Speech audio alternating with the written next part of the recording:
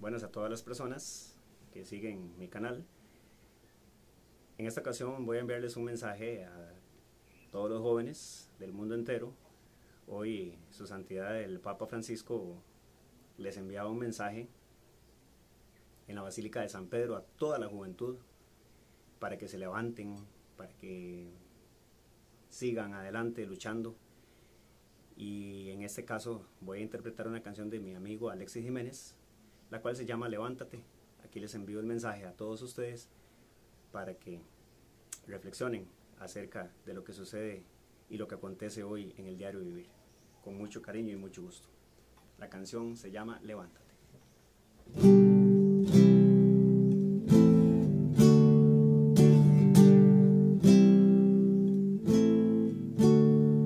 Despertó a las 5.30, como hacía todos los días. Se salió de la cama, aunque él no lo quería.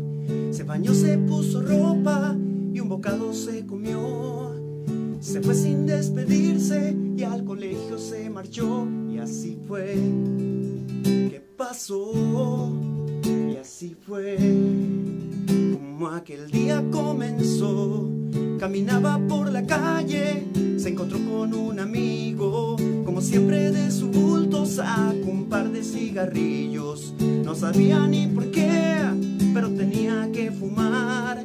Fue así como pasó y esta es toda la verdad. Y así fue. ¿Qué pasó? Y así fue. Como aquel día sucedió. Saludaba a todo el mundo. Era un joven popular. Las chicas le querían, pues era todo un galán. Casi todos lo admiraban por la pinta que tenía. Pero esto no importaba, su vida estaba vacía.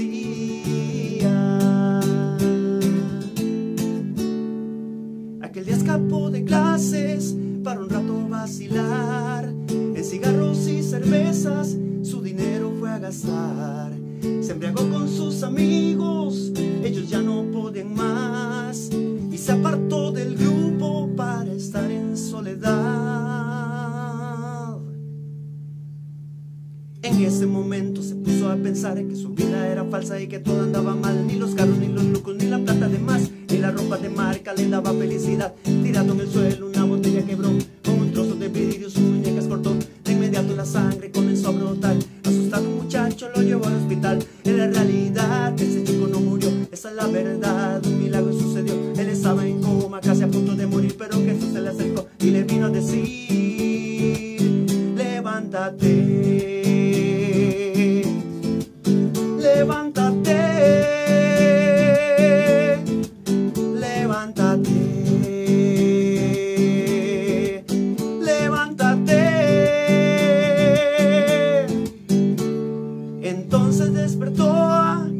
Puso a llorar, pues en su corazón ya no había soledad.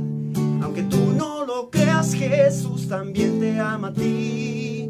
Y con esta canción es el quien te viene a decir,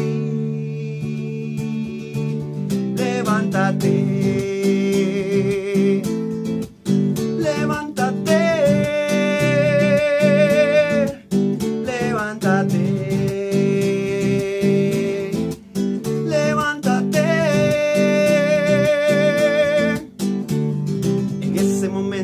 puso a pensar que su vida era falsa y que todo andaba mal. Ni los carros, ni los lucos, ni la plata de más, ni la ropa de marca le daba felicidad. Mirando en el suelo, una botella quebró. Como un trozo de vidrio, sus muñecas cortó. De inmediato la sangre comenzó a brotar. Asustado un muchacho lo llevó al hospital. En la realidad, este chico no murió. Esta es la verdad, un milagro sucedió. Él estaba en coma, casi a punto de morir, pero Jesús se le acercó y le vino a decir: Tú eres mi oveja, yo te llevo mi redil. Eres hijo de mi padre y contigo yo me voy. Contamos contigo, hoy te vine a buscar. Y por eso, hijo mío,